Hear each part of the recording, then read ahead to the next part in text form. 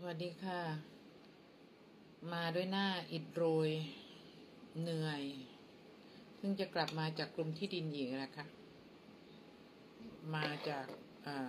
จักรราชวันนี้นะคะ เมื่อวานไปบุรีรัมย์วันนี้มาจากกรมที่ดินของจักรราชนะคะ สรุปวันนี้ก็ทำไม่ได้นะคะทำไม่ได้ก็คือหลานพานุชนาธนะคะ น้องปลาย ยังไม่บรรลุนิติภาวะนะคะ ก็ต้องรอให้น้องปลาย รออีกสี่ปีให้อายุยี่สิบเพื่อที่จะไม่ได้ต้องตั้งผู้ดูแลมรดกทั้งสองฝ่ายนะคะ อืม ก็เลยต้องรอตามนั้น แล้วก็อีกอย่างหนึ่งน้องชายแม่ตะวันที่ตายไปอะค่ะเอ่อเอกสารอะไรยังไม่แล้วเสร็จก็ยังไม่สามารถยืนยันได้ก็ต้องรอก่อนนะคะ อ้าวช่างมันเรื่องมรดกผ่านไปนะคะ เราก็ค่อยว่ากันใหม่ก็แล้วกันเรื่องมรดกนะ เดี๋ยว ดูหน้าไม่ตะวันนะเหนื่อย เหนื่อยจริงๆ เพราะอะไร วันนี้ก็ได้ธรรมะมานะ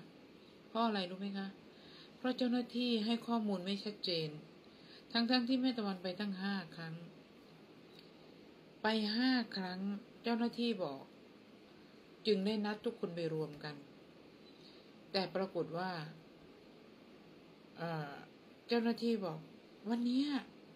น้องคนนั้นเข้าใจถูกคือมองไปที่หลานของแม่ตะวันอบอกน้องอายเข้าใจถูกปัตมบดี กลายเป็นแม่ตะวันผิด แม่ตะวันก็เลยนิ่งเฉยผิดก็ผิดวะทั้งทั้งที่เจ้าหน้าที่พูดกลับไปกลับมา ก็บอกไม่เป็นไรผิดก็ผิด เงียบดีกว่าเหนื่อย ล้าที่จะพูดแล้วนะคะ ก็เลยตกลงว่าอ้าวรอ เพราะว่า เราก็ไม่ได้ทำอะไรก็ตรงนั้นแล้ว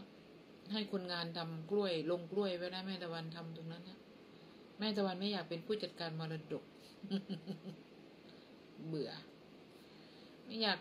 หามไปทำอะไรต่ออะไร อ้าวใครอยากทำแล้วให้มันทำไป เดี๋ยววันนี้แม่ตะวันจะมาคุยในเรื่องของธรรมะอีกเรื่องหนึ่งนะคะ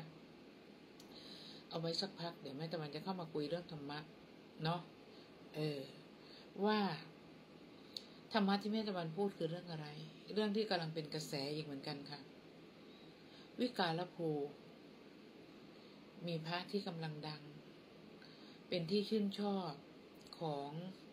ประชาชนทั่วไปนะคะประชาชนทั่วไปนี่ไม่เท่าไหร่ แต่ว่าคนดังทั่วไปชื่นชอบนะคะ บอกว่าการที่กินข้าวเย็น ฉันข้าวเย็นเนี่ย มันเป็นเรื่องคอขาดบาดตายเหรอ มันตายหรือไง แค่กินข้าวเย็น อืมนั่นน่ะสิ มันตายไหม มันน่ารังเกียจขนาดนั้น ใช่ไหมคะ มันผิดมากไหม เดี๋ยวเรามาฟังกัน นะคะ เออพูดอย่างเงี้ย คิดว่าหลาย ๆ ท่านคงนึกออก เพราะว่าชื่อท่านไม่เหมือนคนอื่นนะคะ ใครที่คิดได้ ก็น่าจะคิดออก และคิดว่า ทุกๆทท่านคงคิดออกและคิดได้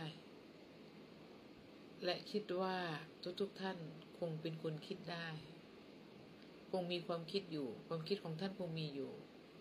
ความคิดคงไม่สิ้นไปไม่หายไปนะคะ แล้วเจอกันนะคะกับเรื่องนี้นะคะ อย่าลืมติดตามค่ะ อยากไลค์เหมือนกันถ้าท่านติดตามนะคะ อย่าลืมค่ะ เราตามกันนะคะ